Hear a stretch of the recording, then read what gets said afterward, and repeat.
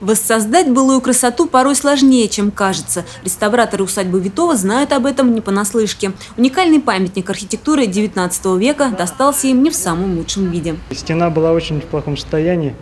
Были грибки, плесень, ну, старинное здание. Без крыши 40 лет стояло. Соответственно, ожидать каких-то чудес не приходилось. Лепнина висела, если честно, я не знаю, как она здесь дожила до наших времен. Для меня это чудо.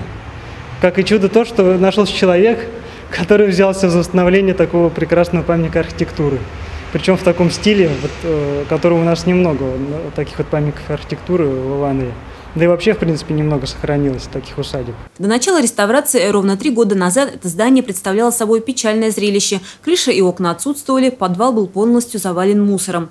Теперь у дома есть хозяйка, которая шаг за шагом, день за днем делает все, чтобы восстановить памятник, который интересен не только с архитектурной, но и исторической точки зрения. Объект культурного наследия поставлен на государственную охрану в качестве регионального э, в 2014 году.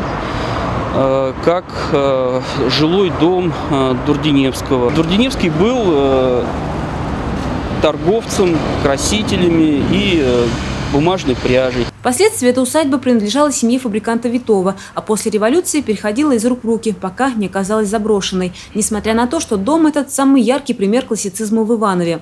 Здесь, как говорят специалисты, чисто выдержан стиль, начиная от симметричности здания, заканчивая характерными элементами украшения, такими как факелы, гирлянды, маски. Я прихожу вот в это помещение, я чувствую, я не знаю чем, душа чувствует, что это вот здание, это старинное здание. Здесь дух того времени присутствует. И мне хотелось бы, чтобы и на фасаде также было, что человек, когда просто проходит мимо, его глаз зацепился, он сразу как-то перенесся в то время, почувствовал историю, почувствовал стиль вот этот, почувствовал искусство, что люди в то время – тоже были заинтересованы красотой. Кстати, одна из стен здания, где лепнина сохранилась лучше всего, останется практически без вмешательства реставраторов. Зато декор центрального фасада пришлось воссоздавать практически с нуля. Уцелевшая лепнина, как выяснилось, представляла собой пыль, покрытую несколькими слоями краски, за счет которой и держалась. Я сделал все модели с помощью силиконовых форм. Вот, все это было восстановлено, отлито заново из современных прочных материалов, э, специального гипса скульптурного.